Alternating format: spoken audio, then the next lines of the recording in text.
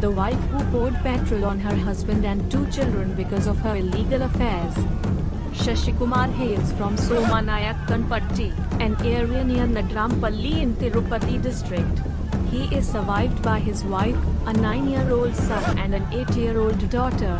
In this situation, one day suddenly a fight broke out between the couple and the police received information that Sasikumar had set himself on fire along with his children. Police rushed to the spot and rescued the two children, who were fighting for their lives, and admitted them to a government hospital. However, Sasikumar succumbed to his injuries.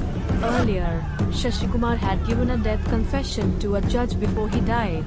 In it, his wife Priya died after pouring petrol on herself and her children. Priya did not know that her husband had given such a confession. Priya had complained to the police that her husband was on fire. Police have launched an investigation into the complaint. Priya was shocked to learn about her husband's death confession. Eventually she started telling all the truth.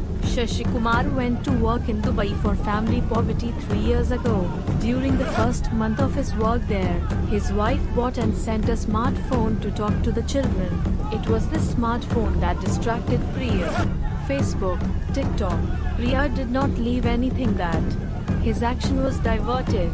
Thus, as the number of male friends increased, he began to flirt with many.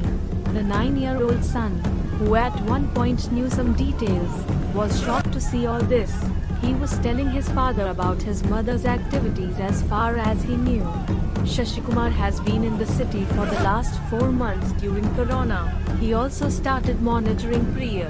Unable to be alone, Priya decides to kill her husband and her two children. Accordingly, Priya bought 5 liters of petrol a month ago and kept it ready at home. It was during this time that the curfew was relaxed and Priya came out with her male friends as usual. Sasikumar, who had witnessed this, rebuked Priya. This is what annoyed Priya.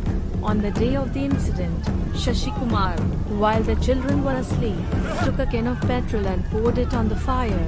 When all three people were on fire, Paula pretended to save them, police said.